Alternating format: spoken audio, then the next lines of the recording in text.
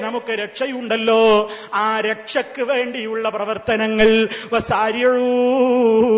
ധൃതിപ്പെട്ട് പോകണേ. ഇലാ റബ്ബിക്കും നിങ്ങളുടെ രക്ഷിതാവിങ്കൽ നിന്നുള്ള പാപമോചനത്തിലേക്ക് സ്വർഗത്തിലേക്ക് നിങ്ങൾ ധൃതി കൂട്ടണേ.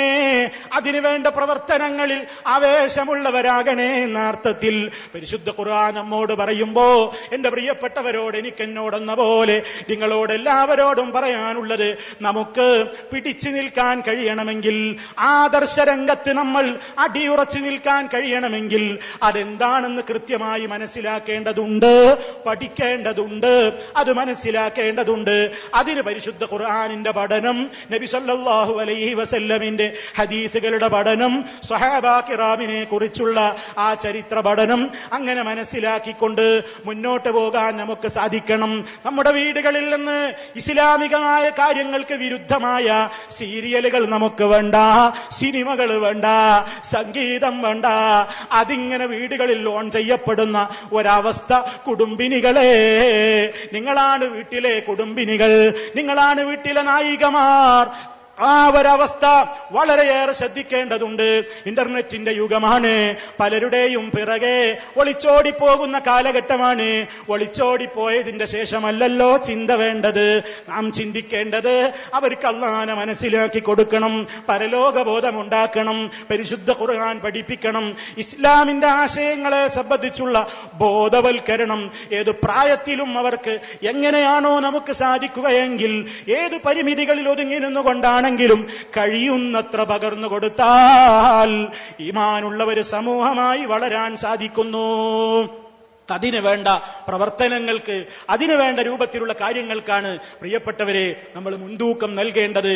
രംഗത്തൊക്കെ നമുക്ക് എല്ലാവരോടും എന്താ തികഞ്ഞ ഗുണകാംക്ഷയാണുള്ളത്? ആരോടും ശത്രുതയുണ്ടായിട്ടല്ല ആരോടും പകയുണ്ടായിട്ടല്ല. എല്ലാവരും നന്നാകണമെന്ന നിലക്കാണല്ലോ നമ്മൾ ഈ ആദർശം. നമ്മുടെ മഹാന്മാരായ മുഴുവൻ ആളുകളും പണ്ട് കാലത്തെ വളരെ കൃത്യമായി ജനങ്ങളോട് പറഞ്ഞത് അവരെ വെറുത്തതിനാലല്ല ഗുണകാംക്ഷയാണല്ലോ മതം. അദ്ദീരുവന്നസീഹ മതം ഗുണകാംക്ഷയാണ്. ഈ ആദർശ പ്രസ്ഥാനത്തിന് ജനങ്ങളോട് അത് ഇനിയും ബോധവൽക്കരിക്കാനുണ്ട്. അതാ ഫെബ്രുവരി മാസത്തിൽ നമ്മൾ ഒരു ക്യാമ്പയിൻ തുടങ്ങുകയാണ്. ഇത്തിഹാദ് ഷുബാനിൽ മുജാഹിദീനത സംസ്ഥാനാടിസ്ഥാനത്തിൽ തന്നെ അതിന്റെ തുടക്കം കണ്ണൂരിൽ വെച്ച് തുടങ്ങുകയാണ്. അതിന്റെ അവസാനം അതാ മെയ് മാസത്തിൽ കോഴിക്കോട് കടപ്പുറത്ത് അതിന്റെ സമാപനം കുറിക്കുകയാണ്. എന്താണ് അതിൽ ജനങ്ങളോട് പ്രത്യേകമായി കാലഘട്ടത്തിലും ഉയർത്തെഴുന്നേപ്പിന്റെ രൂപത്തിൽ കൃത്യമായി പറഞ്ഞു കൊടുക്കാനുള്ളത് മതം ഗുണകാംക്ഷയാണ്. ആ ഗുണകാംക്ഷയോടുകൂടിയാണ് ഞങ്ങൾ തൗഹീദ് പറയുന്നത്.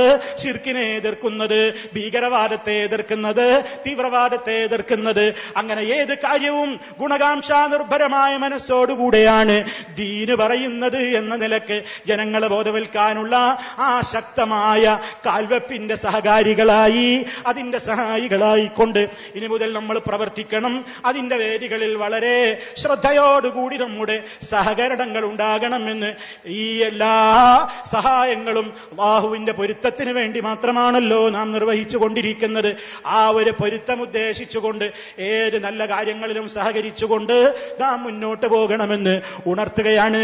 ഞാൻ അവസാനിപ്പിക്കുന്നു.